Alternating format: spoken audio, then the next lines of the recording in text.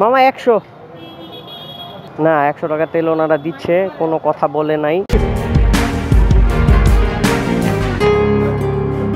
আসসালামু আলাইকুম সবাইকে, নতুন আরেকটি ব্লগে সবাইকে স্বাগতম। আমি আছি এখন হচ্ছে শিল্পকলা একাডেমির পিছনে। আজকে তেল নিয়ে একটা ব্লগ করব, যেটা হচ্ছে আমি তেলের পাম্পে যাব, আমার কাছে টাকা আছে বাট তেলের পাম্পে যেয়ে আমি একশো টাকার তেল নিব, চাবো। একশো টাকার তেল চাইলে একশো টাকার তেল দেয় কি না সেটা দেখব। আগে টাকাটা আমি আলাদা করে নিলাম। এখন আছি আমি মৎস্য ভবনের এইখানে মানে ভিতরের সাইডে। চলেন এখন আগে পাম্পের দিকে যাই। যদিও আমার গাড়িতে তেল লাগবে বাট আমি এখন পুরাটা ভরবো না, আমি একশো টাকার ভরবো। আমার কাছে টাকা আছে, যেটা আমি দেখাইলাম। কিন্তু পাম্পে কি কাহিনী করা আগে সেটা দেখব। এরপর যদি একশো টাকার তেল না দেয় তখন অপশন যেহেতু আছে তখন বেশি ভরা যাবে। বাট এখন আগে আমি একশো টাকার ভরবো আর সবচেয়ে বড় কথা হচ্ছে আমি একদম পাম্পের সাইডেই চলে আসছি।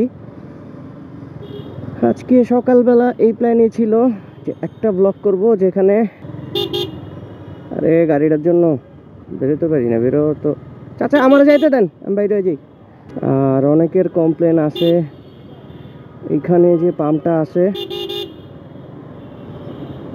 সেখানে একশো টাকা তেল দেয় না। আজকে আমি এই কমপ্লেনটাই দেখব যে আসলে এখানে একশো টাকা তেল দেয় কিনা। ওরে, অনেক বড় লাইন কিছুদিন আগে এই পাম্পে আইসা জরিমানা করে গেছে।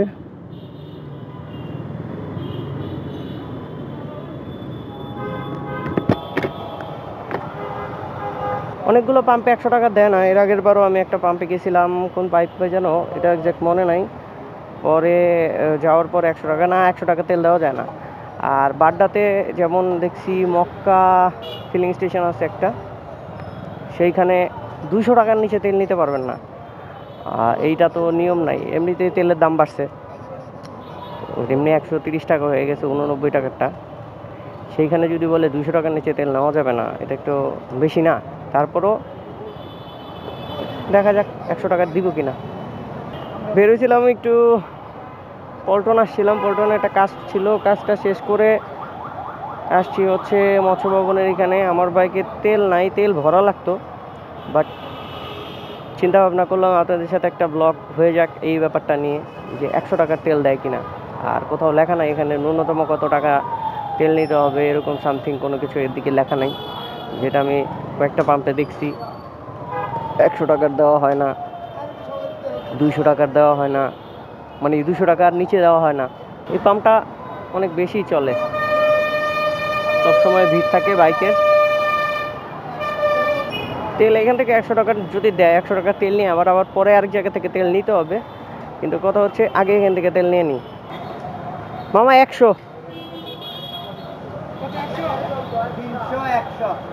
না, একশো টাকা তেল ওনারা দিচ্ছে, কোনো কথা বলে নাই।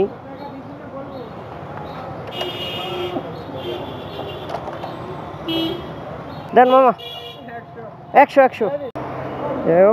না, ওনারা একশো টাকা তেল দিল, ওইখানে কোনো কথাবার্তা বলে নাই। মনে করছিলাম একশো টাকা তেল দিবে না, কিন্তু কথা হচ্ছে আমার একশো টাকা তেল নিয়ে তো কোনো লাভ হয়নি, আমার আবার তেল নিতে হবে, বাট এখান থেকে নিব না।